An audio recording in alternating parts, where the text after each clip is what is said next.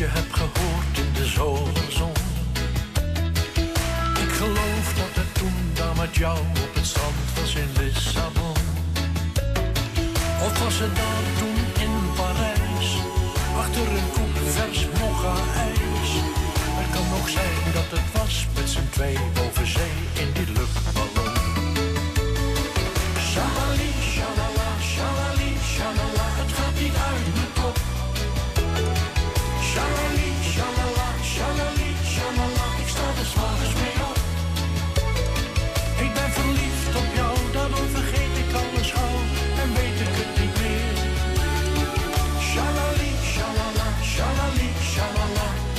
gaat het ongeveer. Ik ben verliefd.